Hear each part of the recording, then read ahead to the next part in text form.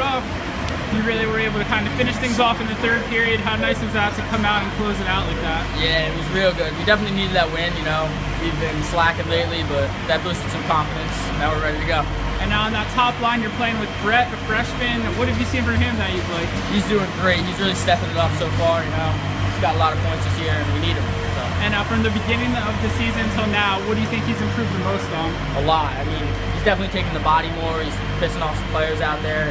He's doing good. He's doing real good. A big game from Julian and net today. How nice was it to see him get this win in his first game back? Great. He just came back too, so it was real good.